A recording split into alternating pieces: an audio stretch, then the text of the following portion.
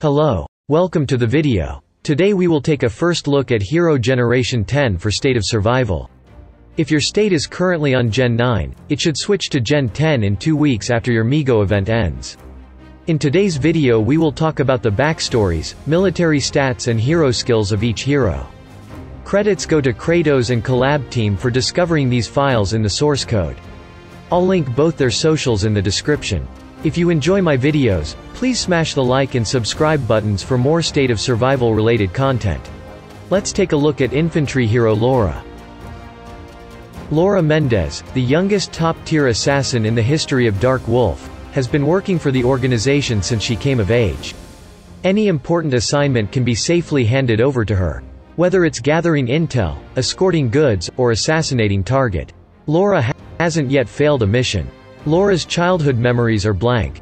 Her fellow agents know little about her private life, except that she was taken in as an orphan and raised by the Dark Wolf. Since then, she has played a crucial role in several internal cleanup operations. After the White Wolf disappeared during a military assignment, Dark Wolf gave Laura the mission of finding him, no matter dead or alive.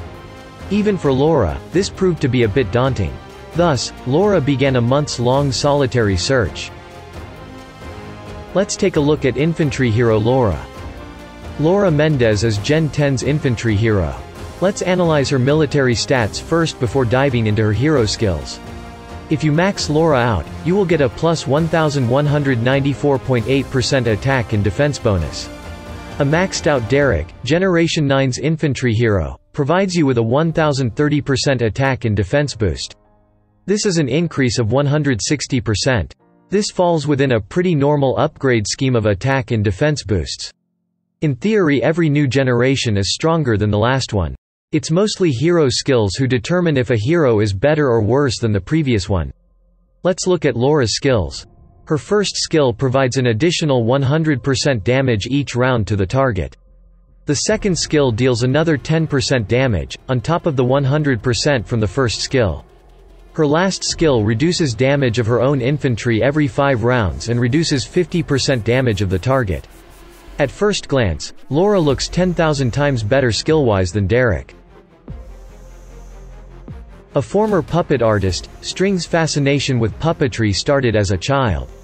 He crafted all kinds of puppets and eagerly participated in theater productions. The lonely artist, immersed in his own world, imagined he would spend the rest of his life with his wooden children, until he met the love of his life. Soon, the two had formed a family and had a child of their own. A beautiful little girl. In the midst of the apocalypse, String's wife and daughter were infected. Watching his beloved and his child die before his eyes caused Strings to suffer a mental breakdown. In the end, Strings got his tools back. He turned his unhinged guilt and ruminations into inspiration, creating a new puppet. This puppet is a little different. It will never leave him.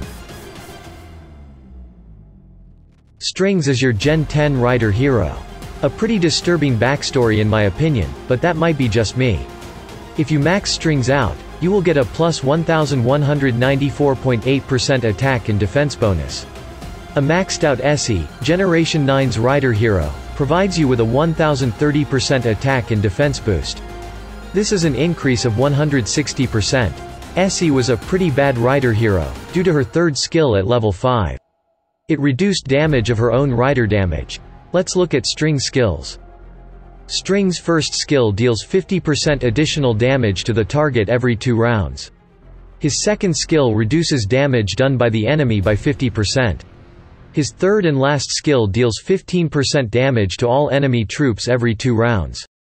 Strings won't outperform Joker as first-choice rider hero in PvP and PvE, but looks very decent.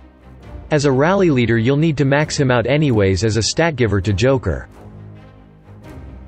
Connor, the slinger, Walsh was one of the nation's top baseball hitters. As captain, he led his team to the championships. He later retired early after being sidelined by the coaches. When the apocalypse came, Connor found that the game that he loved could also be a way to protect the people he loved. He began to create baseball-related survival equipment, spiked bats, baseball bombs, and defensive gloves. As the infected swarm came closer, Connor formed a self-defense squad to maintain neighborhood security.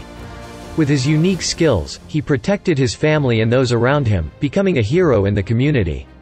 Soon after, Connor chose to join the Final Hope, seeking permanent refuge for his family while also hoping to do his part to defend against the infected. Connor is the last hero we will discuss today. He is the hunter of Gen 10. If you max Connor out, you will get a plus 1194.8% attack and defense bonus. Just like the previous two heroes, that's an increase of 160%. Let's look at Connor's skills. His first skill deals 14% damage every 3 rounds and after the first round it deals 14% damage to all the troops. His second skill reduces damage of the enemy target by 15% and deals 7.5% more damage.